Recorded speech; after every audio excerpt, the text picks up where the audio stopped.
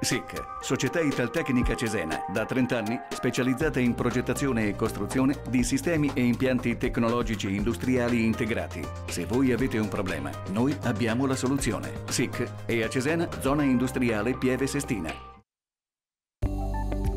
Infotech, con un'esperienza ultradecennale nella consulenza e nello sviluppo di servizi informatici, è HP Platinum Partner. Infotech da sempre propone tecnologie innovative in ambito server e storage, workstation e PC, garantendo un servizio di assistenza tecnico-sistemistica rapido e affidabile. Infotech propone l'ufficio efficiente e green. Affidati a noi installando le nuove multifunzioni HP PageWide a zero emissioni di polveri sottili. Mettiti comodo. Infotech troverà la soluzione giusta per te. www www.infotech.it Frigoriferi industriali, soluzioni all'avanguardia. Nella refrigerazione industriale.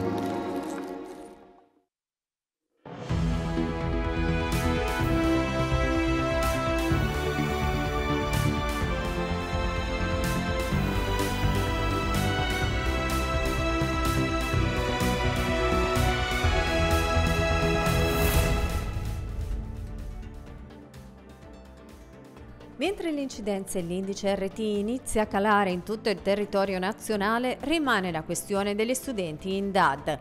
La vaccinazione tra i più giovani non decolla in Emilia-Romagna e sono molte le classi in quarantena in tutta la regione si torna a parlare di Bolkenstein con i rappresentanti delle associazioni balneari che attendono il momento per confrontarsi con il governo sul tema della riassegnazione delle spiagge. Urgente la definizione dei bandi che saranno utilizzati in questo processo. Tra dieci giorni dovrebbero concludersi i lavori di riqualificazione del viadotto Kennedy a Cesena, dopo una serie di ritardi e rinvii. Il blocco del traffico sul viadotto è fissato fino al 7 febbraio, data che segna la ripartenza della circolazione delle vetture. Dopo un'attesa durata diversi anni, il governo ha approvato le modifiche al registro unico delle opposizioni necessarie per bloccare le chiamate moleste ai numeri fissi e cellulari.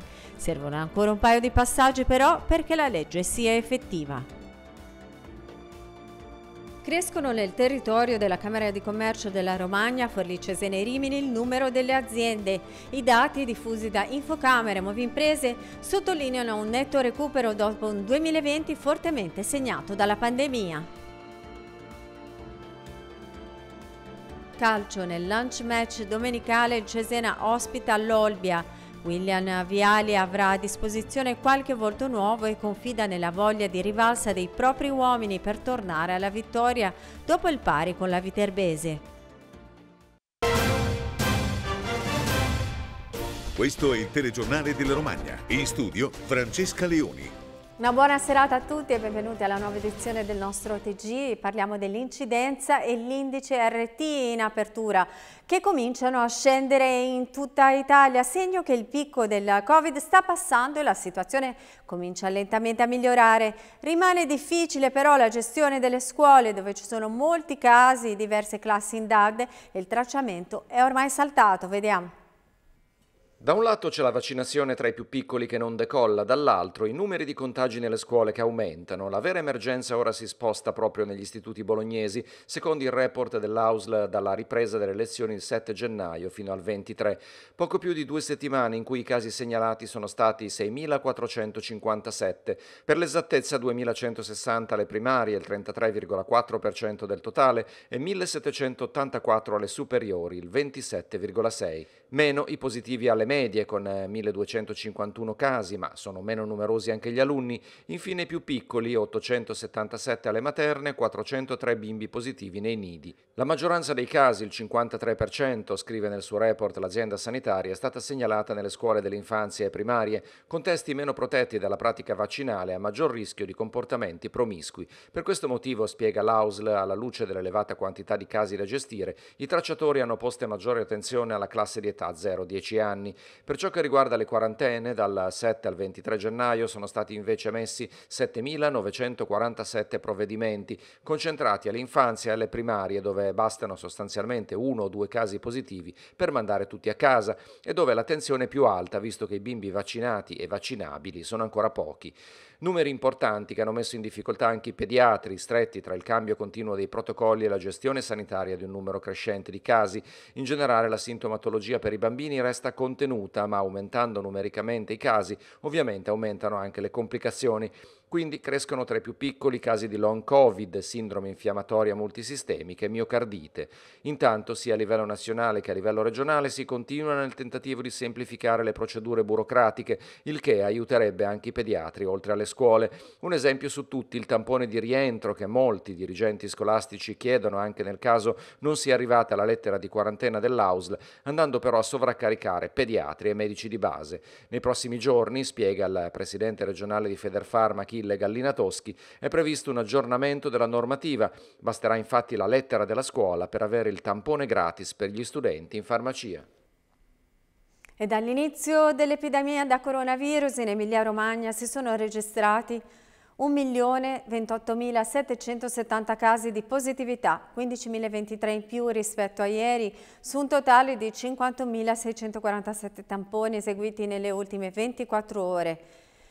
Complessivamente la percentuale dei nuovi positivi sul numero di tamponi fatti è del 29%. I pazienti attualmente ricoverati nelle terapie intensive dell'Emilia Romagna sono 146, uni in meno rispetto a ieri, l'età media è di 62,8 anni. Sul totale 91 non sono vaccinati e 62,3% sono, che sono il 62,3%, mentre 55 sono vaccinati con ciclo, ciclo completo e corrispondono ha un'età media di 63,3 anni. L'età media dei nuovi positivi di oggi è di 35,1 anni e la situazione dei contagi nelle province vede Bologna con 3.502 nuovi casi, seguita da Modena con 1.886, Reggio Emilia 1.646, Ravenna 1.460, Rimini 1.257, Parma 1.168, Cesena 1.076, Ferrara 1.052, Piacenza 837, Forlì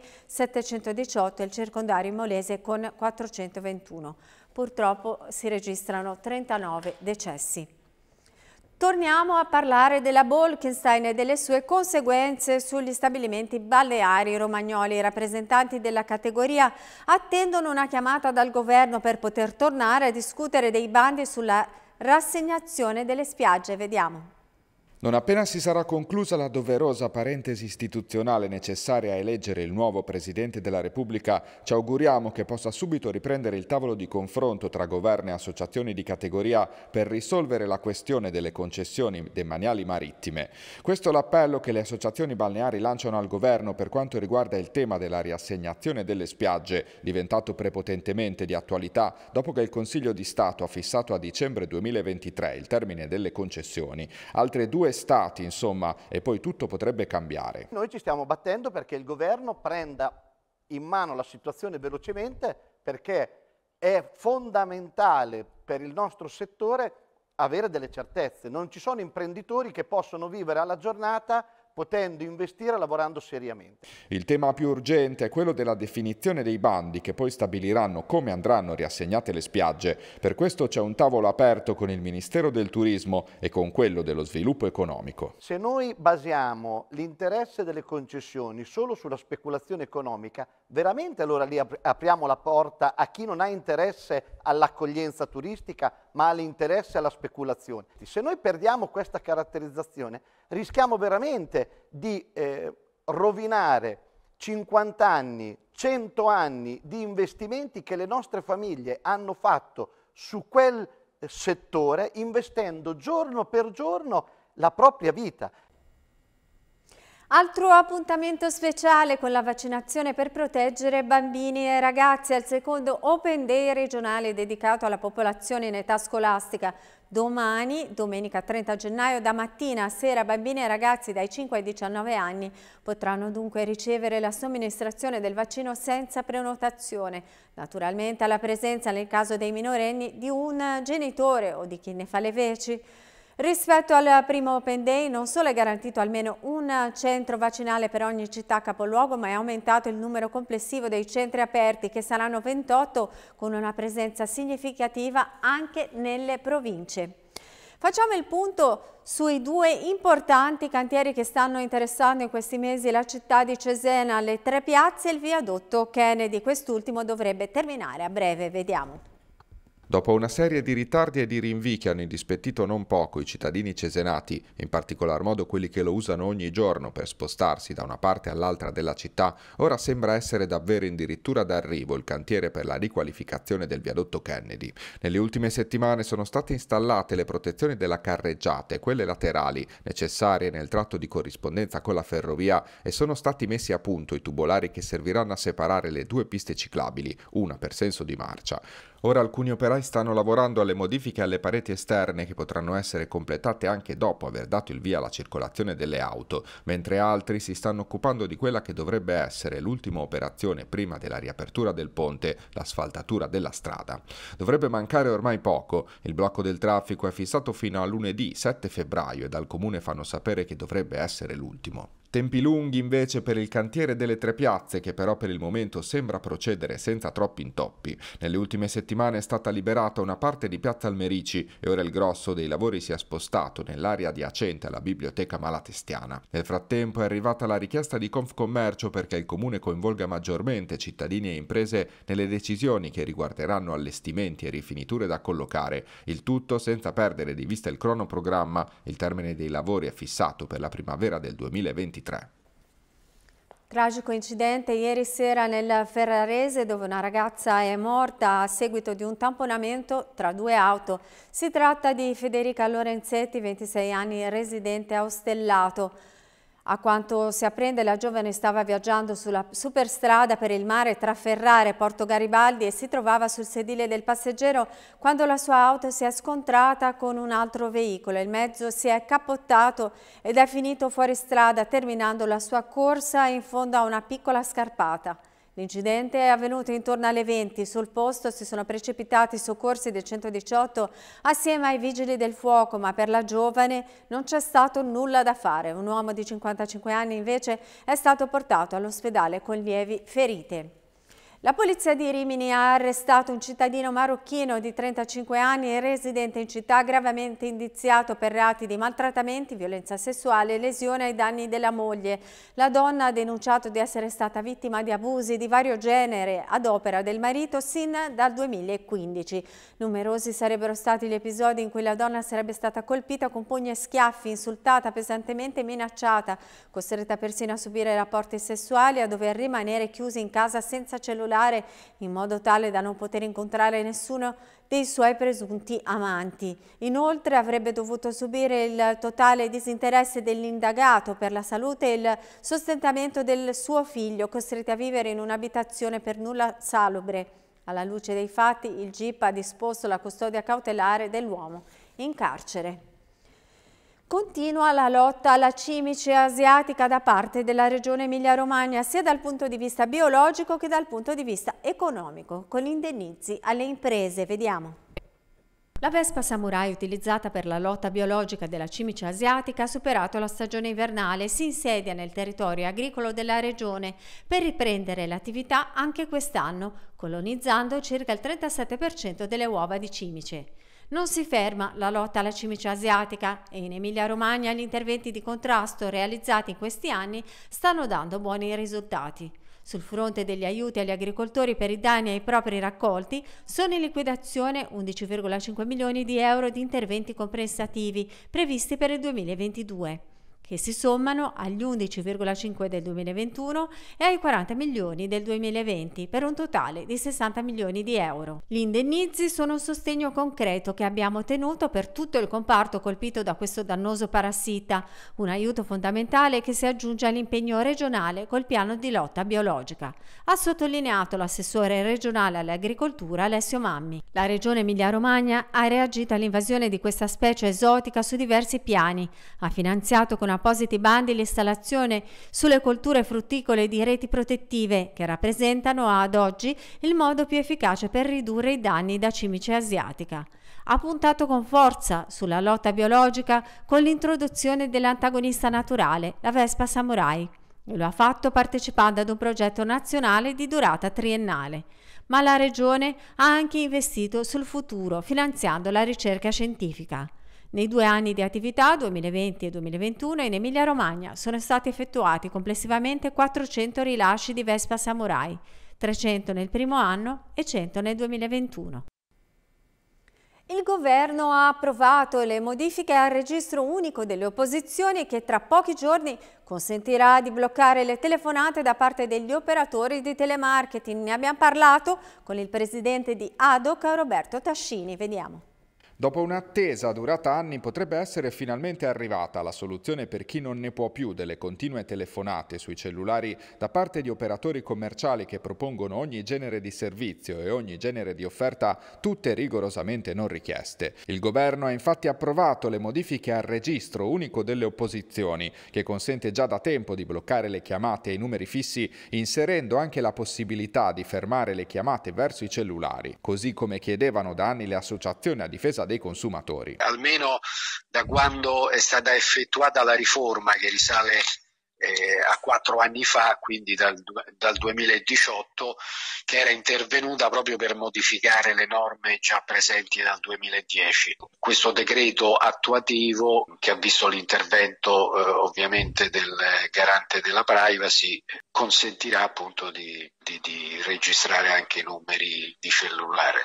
Servono ancora un paio di passaggi perché la legge sia effettiva, la firma del Presidente della Repubblica e la pubblicazione in Gazzetta Ufficiale. Dovrebbe essere questione di pochi giorni, dopodiché entrando nel portale web del Registro Unico delle Opposizioni sarà possibile inserire il proprio numero di cellulare per bloccare automaticamente le chiamate indesiderate. Eh, qualora ci dovesse essere qualcuno che ha inserito eh, il proprio numero di cellulare per non ricevere più le telefonate e dovesse continuarle a riceverle, di segnalarcelo perché eh, faremo presente questo sia al, al, Ministero sia al garante della privacy. Insomma. Ecco. Ora parliamo di economia, sono stati diffusi dalla Camera di Commercio della Romagna i dati relativi alla presenza imprenditoriale straniera nel territorio, numeri in crescita che sottolineano un netto recupero dopo un 2020 fortemente segnato dalla pandemia. Vediamo. Saldo positivo per le imprese del territorio Romagna, Forlì, Cesene e Rimini. I dati 2021 confermano l'imprenditorialità maggiormente diffusa rispetto al contesto regionale e nazionale. Il saldo delle imprese registrate è risultato positivo e in netto recupero rispetto a quello del 2020.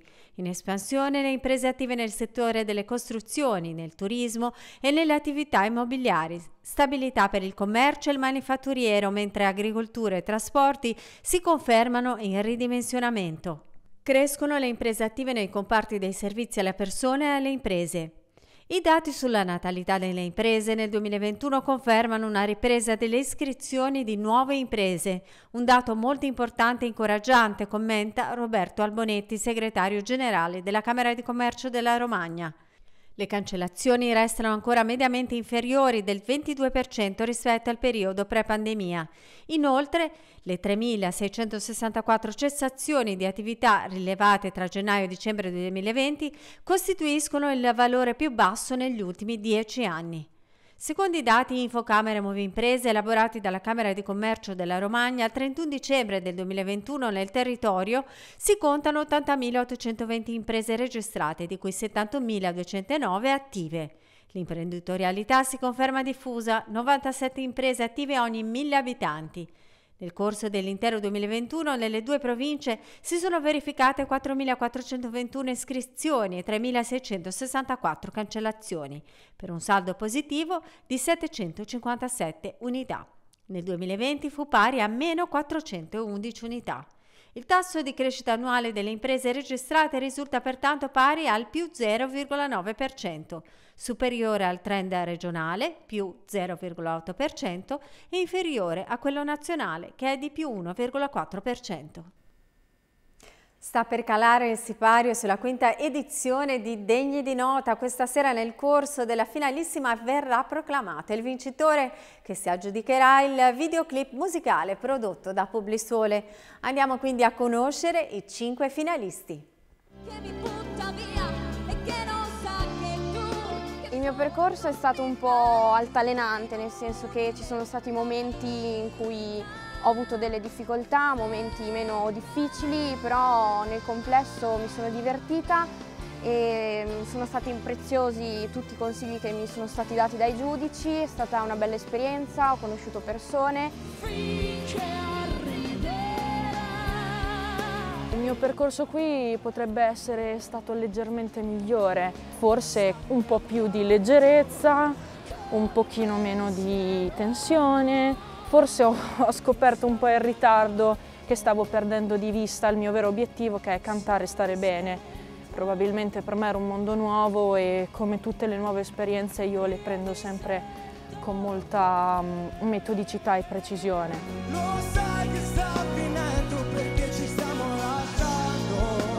Dall'inizio del programma fino ad adesso eh, sono contento di come sta riuscendo anche perché due anni fa quando ero venuto ero meno pronto, ero più piccolo, mentre adesso sento che comunque col tempo sono cresciuto, maturato e sull'aspetto musicale non solo. Dai, speriamo.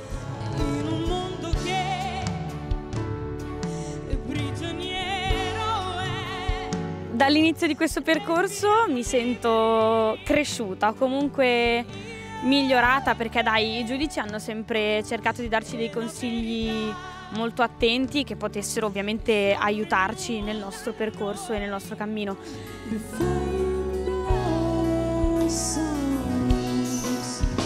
Un altro passo importante nel, nel, cammino di Degni di Notte è stato il duetto con Alessandra Beldean, con la quale mi sono trovata benissimo, anche se le prove le abbiamo fatte per telefono, dato eh, dato un po' la situazione, poi anche la distanza che c'è tra, tra, noi. E però dai, è stata una grande, una grande esibizione secondo me. E ora diamo spazio al TG Sport.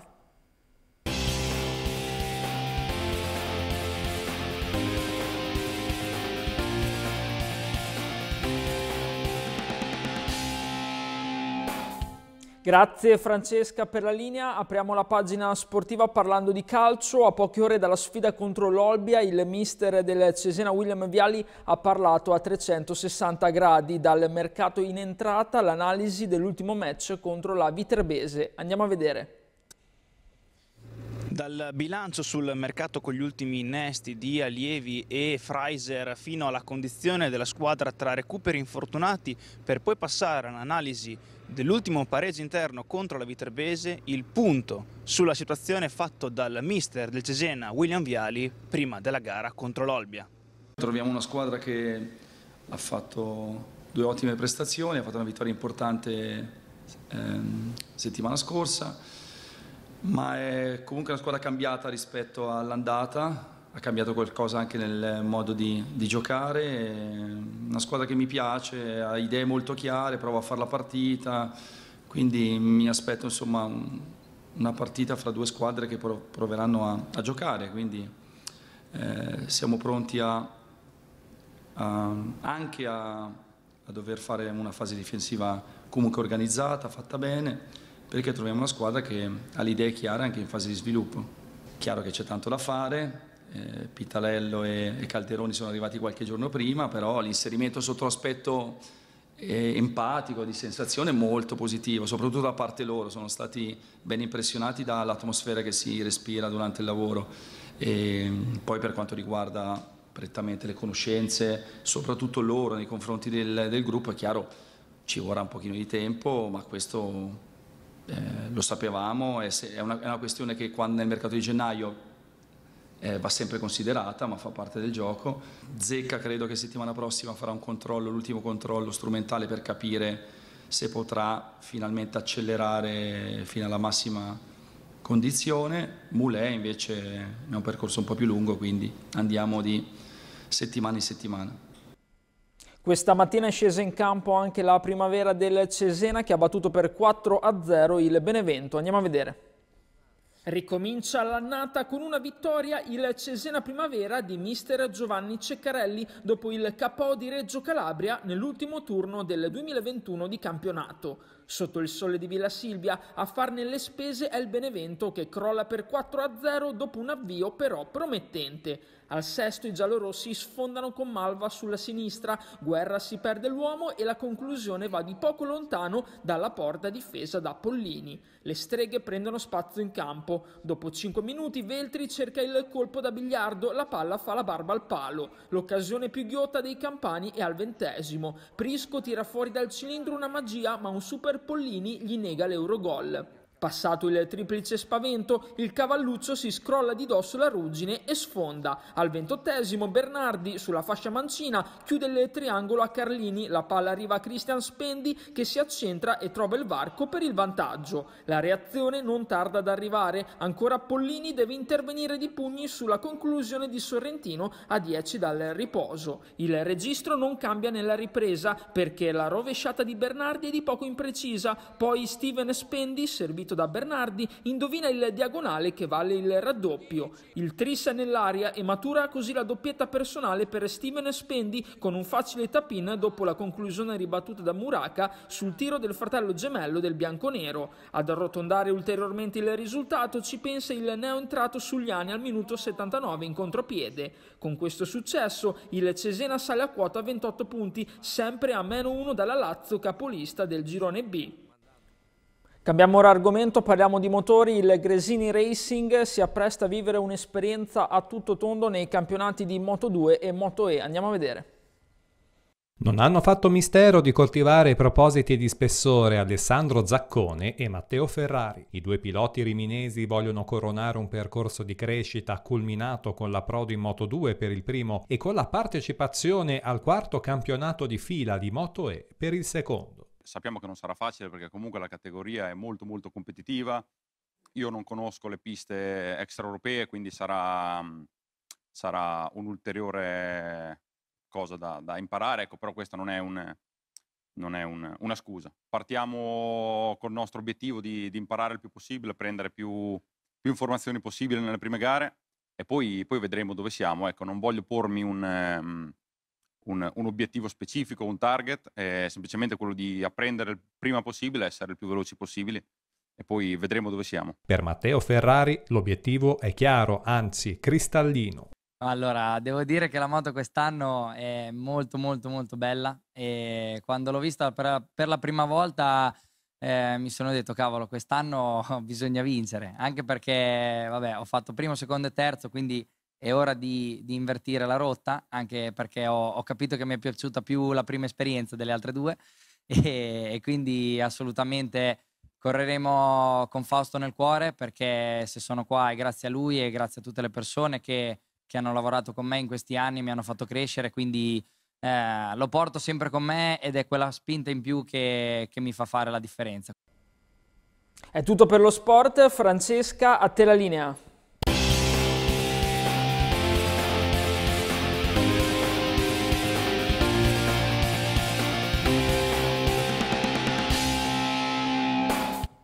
E ora spazio alle previsioni meteo.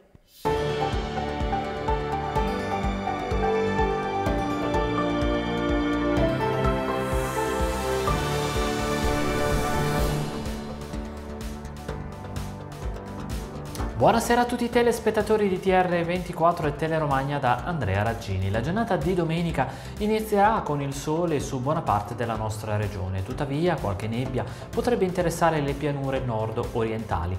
Nuvolosità poi in aumento sull'Appennino emiliano, schiarite sul resto della nostra regione. Temperature minime che oscilleranno tra 0 e più 5 gradi, valori massimi in aumento, compresi generalmente tra 9 e più 12 gradi. Per questo appuntamento è tutto, buona serata da Andrea Raggini.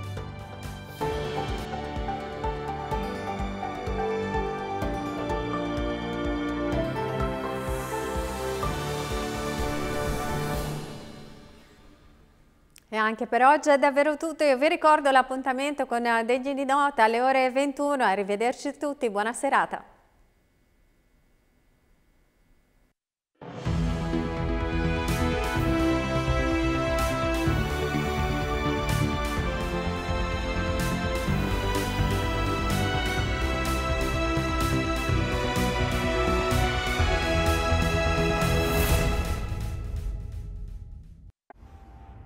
SIC, Società Italtecnica Cesena, da 30 anni specializzata in progettazione e costruzione di sistemi e impianti tecnologici industriali integrati. Se voi avete un problema, noi abbiamo la soluzione. SIC e a Cesena, zona industriale Pieve Sestina.